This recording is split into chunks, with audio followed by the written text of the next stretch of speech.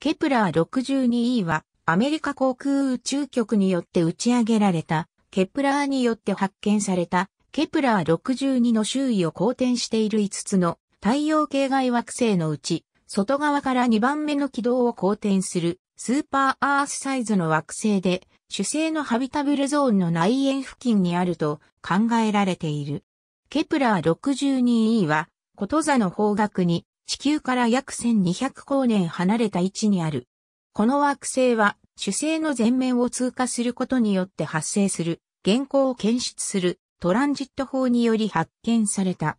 ハビタブルゾーンの内側を公転しており、地球型惑星か海洋惑星である可能性が示されている。地球との類似性を示した地球類似性指標は0.83とされている。ケプラー 62E は122日の公転周期で主星の周りを公転しており、地球よりも約60%大きい。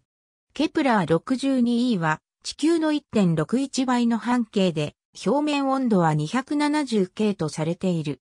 プエルトリコ大学アレシボ校の Planetary Habitability Laboratory ではケプラー 62E の質量は地球の4.5倍としているが、不確実性が大きく、真の質量ははっきりとしていない。上限質量は地球の36倍だが、実際にはそれほどの質量はないとされている。ケプラー 62E は5つの惑星を持つケプラー62と呼ばれる恒星を公転している。質量は太陽の0.69倍、半径は0.64倍で、表面温度は 4925K、誕生から70億年が経過しているとされている。それに対して太陽は誕生から46億年が経過しており、表面温度は 5778K である。金属量はマイナス0.37で、これは太陽の42%しか金属を含んでいないことを示している。高度も太陽の21%しかない。死等級は13.654等と暗く、肉眼で感望することはできない。ケプラー 62E は主星から約 0.42au で約122.3日かけて主星を公転している。2016年の研究では、ケプラー 62E は外側を公転している。ケプラー 62F と2、1の軌道共鳴状態にある可能性が高いことが示された。これは E が軌道を2回公転する間に F が軌道を1回公転することを意味する。主星から受ける日射は地球が太陽から受ける日射よりも20%大きいとされている。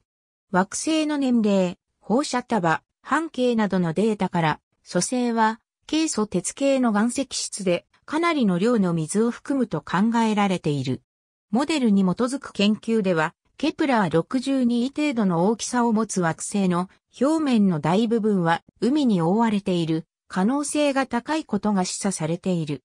しかし、別の研究では、地球の1.6倍以上の半径を持つ惑星は、揮発性物質に富んだ厚い大気を持ち、明確な表面を持たないミニネプチューンになる可能性が示されており、地球で見られるような陸上生命体は存在できない可能性もある。もう一つの重要な要素として放射束がある。地球よりも20%多い日射を受けているケプラー 62E は暴走温室効果によって表面温度が 350K を超えている可能性もある。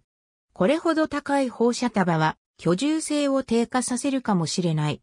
ハビタブルゾーン内にある惑星ケプラー 62E を発見したケプラー宇宙望遠鏡は2009年に観測を開始した。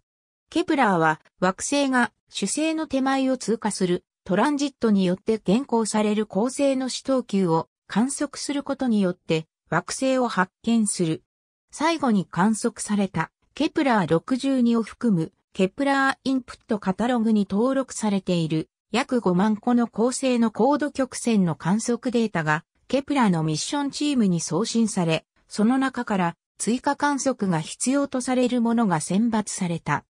そして2009年5月13日から2012年3月17日の間にケプラー62の光度が約122日ごとに減光しているのが確認され、追加観測が行われた結果、この減光が実在する惑星に起因していると結論付けられ、ケプラー69系を含む他の惑星とともに2013年4月18日にその存在が発表された。